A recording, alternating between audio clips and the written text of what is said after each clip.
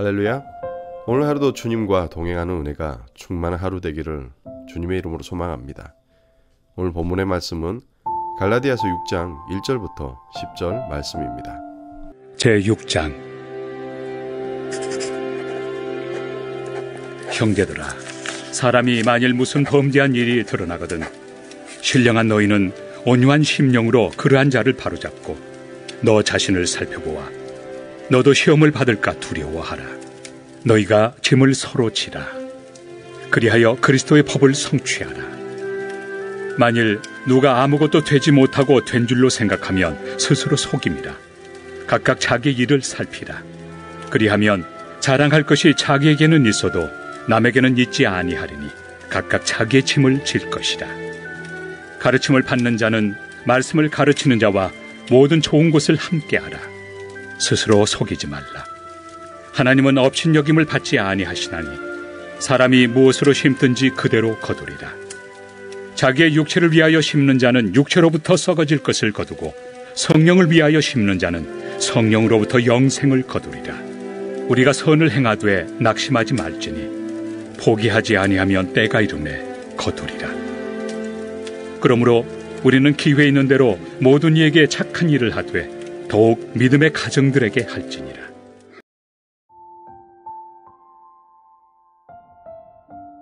우리가 이 땅에 살아가면서 확실한 진리 중에 하나가 심는 대로 거둔다는 것입니다. 분명히 콩을 심으면 콩이 나오고 팥을 심으면 팥이 나오는 것은 불변의 진리입니다. 그러기에 우리 인생에서 심지도 않고 거두기를 원하는 거나 다른 것을 심어놓고 열매를 원하는 어리석음을 범하지 말아야겠습니다. 그렇게 우리가 믿음을 따라 살기 위해 우리에게 심겨진 복음에 대해 말씀을 통해 살펴보겠습니다. 먼저 우리에게 심겨진 복음은 우리의 죄 문제를 해결할 뿐 아니라 다른 사람을 사랑하게 해줍니다. 1절입니다. 형제들아, 사람이 만일 무슨 범죄한 일이 드러나거든 신령한 너희는 온유한 심령으로 그러한 자를 바로잡고 너 자신을 살펴보아 너도 시험을 받을까 두려워하라. 본문은 갈라디아 성도들을 신령한 너희라고 이야기합니다. 다시 말해 성령을 쫓아 사는 성도만이 형제를 바로 세울 수 있다는 것입니다. 뿐만 아니라 성도를 바로 세우는 능력은 온유한 심령입니다. 죄를 묵인하고 관과하는 것이 사랑이 아닙니다.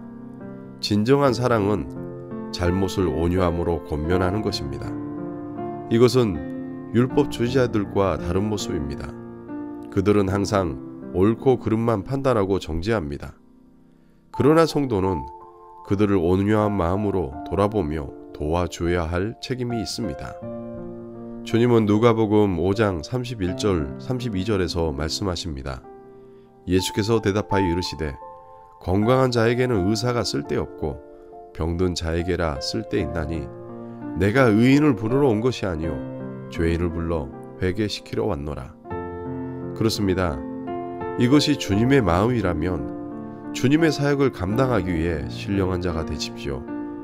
그렇게 오늘 하루도 성령의 인도하심을 받고 성령을 쫓아 성령이 주시는 온유함으로 연약한 지체, 죄에 빠진 지체를 세우는 여러분이 되기를 소망합니다.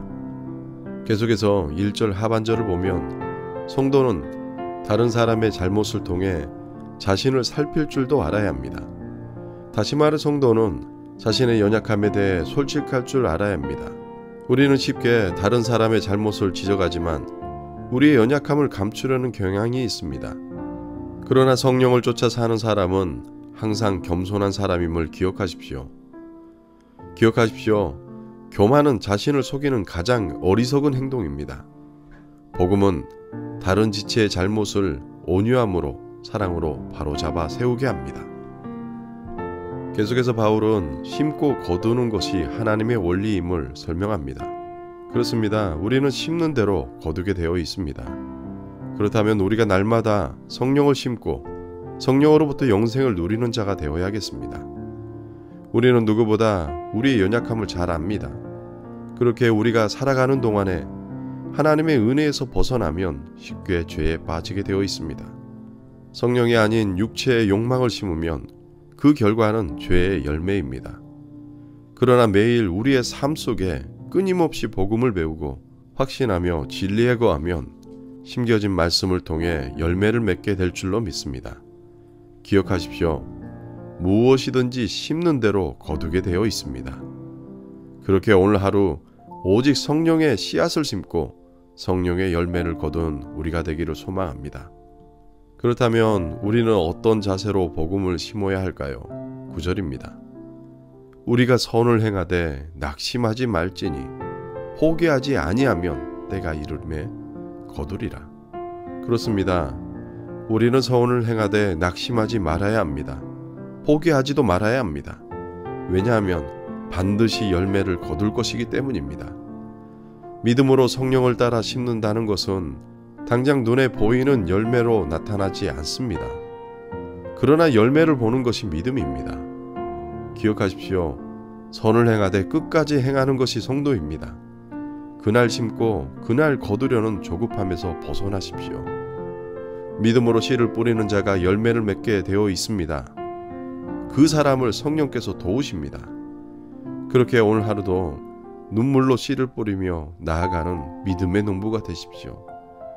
우리가 믿는 하나님은 살아계신 만군의 주 여호와 하나님이십니다. 그렇기에 분명히 기쁨으로 단을 거두는 날이 올 것입니다. 오늘 하루도 농부처럼 삶의 밭을 일구는 여러분이 되기를 주님의 이름으로 기도합니다. 함께 기도하시겠습니다. 사랑과 은혜가 풍성하신 아버지 하나님, 오늘 하루도 주신 말씀을 기억하며 살게 하여 주시옵소서. 주님이 맡겨주신 이 복음의 씨앗 끝까지 인내하며 뿌리는 자가 되게 하여 주시옵소서. 이 하루의 삶 또한 나를 기쁘게 하기보다 오직 만군의 주 여호와 하나님 한 분만을 기쁘게 하는 삶을 살게 하시고 나의 마음의 교만을 버리게 하시고 하나님이 허락하신 지체들을 믿음의 눈으로 바라보며 품게 하여 주시옵소서. 하나님이 주신 마음을 품되 끝까지 포기하지 않게 하시고 오늘 하루도 풍성한 추수를 기다리는 농부의 마음으로 하나님께서 허락하신 삶의 밭을 일구며 살게 하여 주시옵소서. 감사드리며 예수님의 이름으로 기도합니다. 아멘.